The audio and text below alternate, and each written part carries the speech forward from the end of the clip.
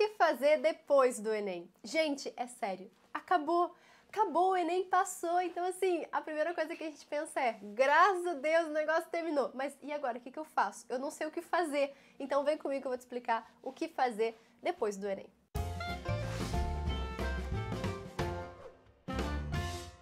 Questionador! Seja muito bem-vindo ao meu canal. Eu sou a Sara Schomayer, eu sou médica formada pela FRJ e eu ajudo vocês vestibulandos a serem aprovados nas melhores universidades do país. Hoje eu vou falar sobre o período pós-prova. Acabou e eu não sei mais o que fazer porque parece que a nossa vida se resumia a estudar. A primeira coisa que eu indico para vocês, não corrija a porcaria da prova. Não interessa saber quantos acertos você teve ou quantos por cento, etc, se dá para passar, não dá para passar, não tem como saber. Então, eu só corrijo a prova quando eu for voltar a estudar. Porque o que me interessa mesmo são os meus erros. Se eu tiver outra prova pela frente, provavelmente eu vou usar esses meus erros justamente para não errar de novo. Agora, corrigir a prova para saber quanto que tirou, isso não serve de nada. Então, para a galera que tem outras provas aí pela frente, tira sim um descanso. Gente, o Enem é uma maratona. Você está super cansado emocionalmente, cansado mentalmente sabe, é uma porrada que a gente toma na prova, sendo a gente aprovado ou não, a gente cansa mesmo. Então tira pelo menos alguns diazinhos de, de férias ali, de folga, antes de você voltar a estudar para outras provas. E se o Enem foi a sua última prova mesmo, acabou, tô de férias de verdade, sério, gente, durma como se não houvesse amanhã, descanse como se não houvesse amanhã, porque é isso que realmente vai fazer diferença para vocês. E tem mais uma coisa. Depois de um tempo, a gente vai começar a querer voltar a estudar, sabe? Eu não sei vocês, mas quando eu tava descansando nesse período, num primeiro momento eu não queria pensar em nada. Mas chegou um momento que eu falei, nossa, que saudade de estudar. Mas eu não quero estudar matéria de Enem, porque, nossa, já tô de saco cheio disso. E aí o que eu comecei a fazer? Bom, eu quero estudar hobbies, idiomas e esse tipo de coisa. Então a melhor coisa que eu fiz nas férias, assim, foi estudo leve, sabe? Porque eu criei gosto de verdade por isso, daí eu sentia falta disso na minha rotina. Eu comecei com inglês, depois eu fui pro alemão e agora estou aprendendo italiano também. Então, vários idiomas aí dá pra gente aprender nesse períodozinho que a gente tá um pouco mais tranquilo, quer estudar, mas não quer voltar para matéria do Enem. E esse vídeo é patrocinado pelo nosso parceiro Cambly, que eu vou dar para vocês também aqui o meu cupom de desconto de Black Friday. Então fica aqui até o final para você pegar todas as dicas e o super desconto de até 60%. Sim, gente, tem plano do Cambly saindo a 62 reais por mês. Então não pode ficar fora dessa porque é só até o dia da Black Friday. E como estudar um idioma? Independentemente do seu nível, eu acho super legal a gente treinar a conversação desde já. Porque às vezes, às vezes a gente quer esperar ter toda uma teoria, toda uma base, saber toda a gramática para começar a falar com nativos, com professores, enfim. E você às vezes demora muito mais para aprender porque você quer ter uma base ali, mas essa base não está te servindo para nada que você não consegue falar.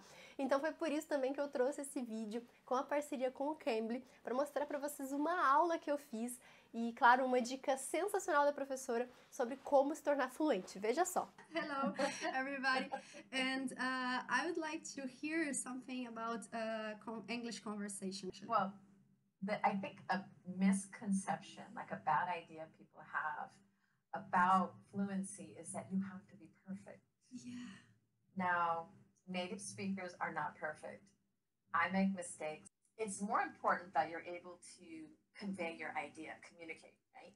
So you want to be able to be understood and you want to understand them. So fluency is more about having that natural fluid flow in a conversation. E como eu falei para vocês, o Cambly tá em promoção de Black Friday, é o maior desconto do ano. Então vou deixar aqui os meus cupons para vocês do plano Cambly e do Cambly Kids. Aproveita esses cupons para ganhar 60% de desconto nos planos anuais. Tem plano saindo por 62 reais por mês para você ter aula com professores nativos a qualquer hora do dia, focando no seu ritmo, no seu nível, para você ficar fluente. Porque investir em você é sempre o melhor investimento. E aí eu passei esse período de férias descansando, estudando idiomas, até chegou um momento que eu falei, ok, estou com coragem de voltar a estudar para o Enem como é que eu vou me organizar, o que, que eu vou fazer, etc. Então a primeira coisa que eu pensei foi: eu não vou esperar o resultado sair para voltar a estudar, porque a minha preparação ela só acaba com a minha aprovação. Antes disso, nem pensar que eu vou desistir, parar ou ficar ali de braço cruzado esperando o resultado.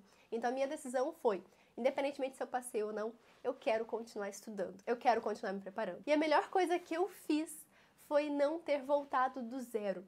Porque tem gente que fica reiniciando o cronograma todo santo ano, fica vendo todas as mesmas aulas, todas as mesmas coisas, sendo que na verdade o que falta para aprovação são nossos erros, são as matérias que a gente não domina. E você pode perceber que geralmente não são as matérias do início do ano, são matérias mais do final do ano. Então o que eu fiz foi, eu olhei para o meu ano anterior, especialmente para os meus erros ali na reta final, e eu comecei a pensar, eu vou corrigir todos os meus erros para que todas as matérias que eu tinha dúvida, que eu errava muito antes da prova, inclusive os meus erros da prova, todos eles eu estudei. Porque eu sabia que se eu ficasse só nas matérias que eu já dominava, que eu acertei no Enem, provavelmente eu iria perder tempo nessas matérias. E foi assim que depois do Enem, depois das minhas férias ali, eu voltei a estudar para o Enem. Estudei por mais uns meses ali, até sair o resultado, até sair SISU e etc.